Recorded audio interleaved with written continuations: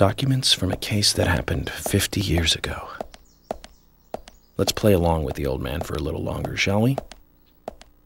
Zach, that means we need to head for the sheriff's department. Can there really be documents here that the FBI doesn't even have? What do you think, Zach?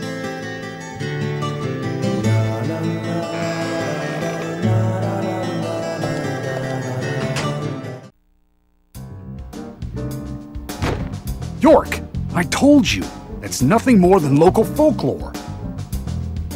Harry said that he was there. The Raincoat Killer is a phantom, made up to scare children long ago. I can't believe you fell for that from Harry, of all people. I agree with George. Harry likes to play with people, play with their minds, too. George, Emily. Of course, I don't believe him word for word. But you won't mind if I at least try to confirm that he's wrong, will you? Hmm. Well then, can you look for the files by yourself? I'm still looking for Thomas. Very well. Emily, open the filing room for him.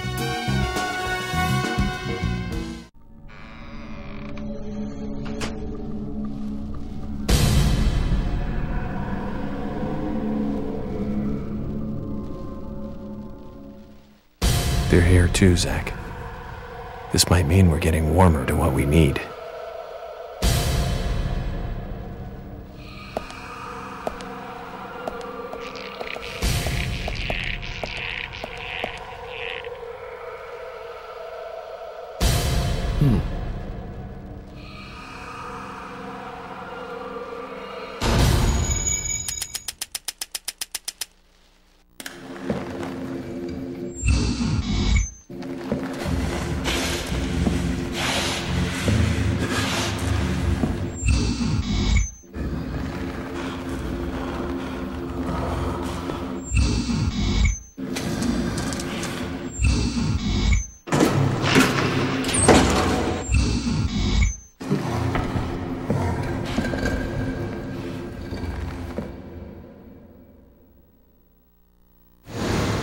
Too much noise.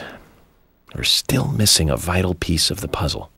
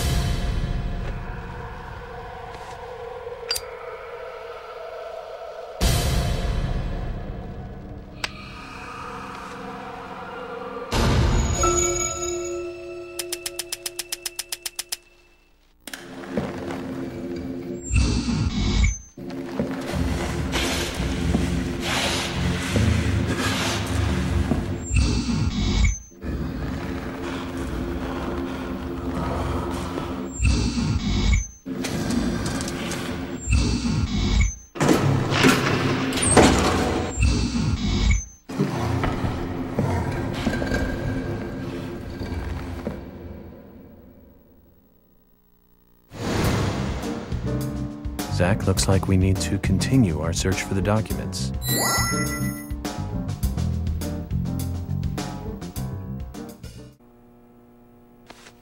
George, I'll get right to the point.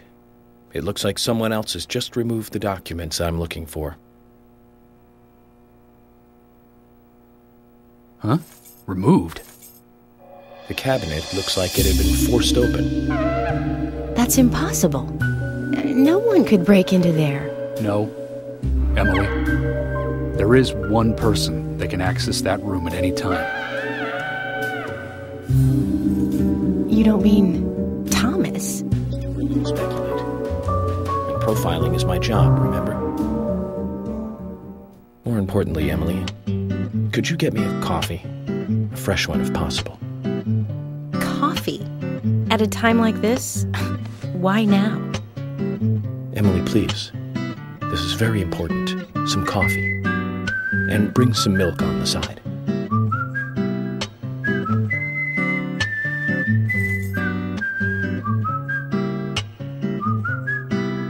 Zach, you know something, don't you? I'm getting us some coffee. So tell me what you know.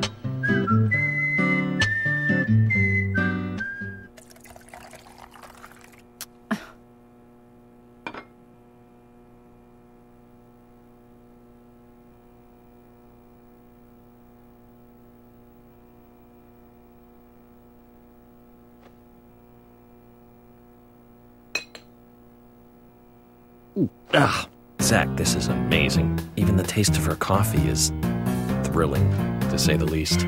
What? No, nothing.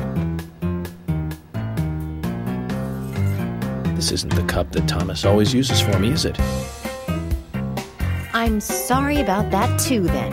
I just used a cup that was nearby. You have a problem with that? Problem? Not at all, my dear Emily. The coffee is perfect. Well, okay, taste aside, this cup certainly is perfect.